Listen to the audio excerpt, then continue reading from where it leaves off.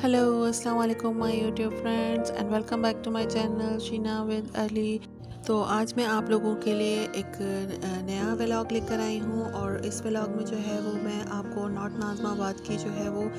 Food street जो है वो दिखाने लगी हूँ। और ये जो नॉर्थ नाजमाबाद की फ़ूड स्ट्रीट है, ये यहाँ की बहुत ही फ़ेमस फ़ूड स्ट्रीट है, और माशाल्लाह से ये बहुत ही बड़ी फ़ूड स्ट्रीट है।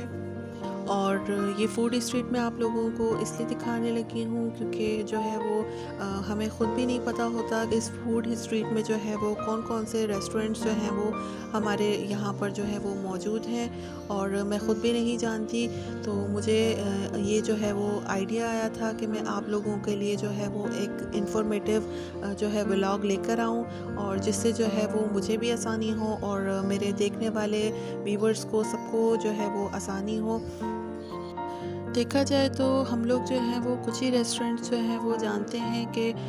ज़ाहिर है हम बार बार वो ही रेस्टोरेंट जो है वो ट्राई करते हैं। तो यहाँ पर माशाल्लाह से बहुत ज़्यादा वैरायटी है रेस्टोरेंट्स की। तो आज जो है वो आ, मैं आपको ये सारे रेस्टोरेंट्स दिखा रही हूँ और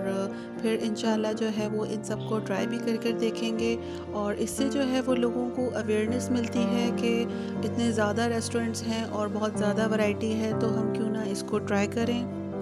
जिस तरीके से हम लोग किसी रेस्टोरेंट में जाते हैं और वहाँ पर हम लोग एक मेन्यू मिलता है तो वहाँ पर हम जब वो मेन्यू को देखते हैं तो हमें पता चलता है कि उस मेन्यू में जो जो चीज़ें हमारे पास उस रेस्टोरेंट की अवेलेबल होती हैं, जो खाने, जो फ़ूड वगैरह, जो भी कुछ भी अवेलेबल होता है तो वो हमें उस मेन्यू से पता चलता है। तो इसी तरीके से हम ये, मैं जो आपको ये फ़ूड स्ट्रीट दिखा रही हूँ, इसका मकसद ये है कि हमें जो है वो